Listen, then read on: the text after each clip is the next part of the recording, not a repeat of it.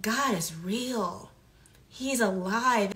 I didn't realize that you can experience so much glory even in the valley. There's so many levels of faith that you can be taken to by the Lord's hand in the valley of the shadow of death. There's so many lessons to be learned in the valley of the shadow of death.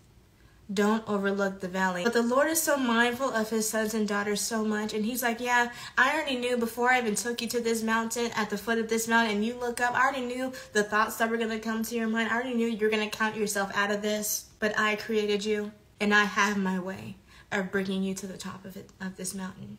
And while you're climbing, the higher you climb and you look down, you've gone up. And you climb up some more you look down, you've gone further. And the more you climb, the more closer to me you get. The deeper levels of glory you're going to be taken to, the deeper levels of faith.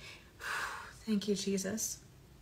You're going to be taken to the exceedingly and the abundantly. You can live in that today.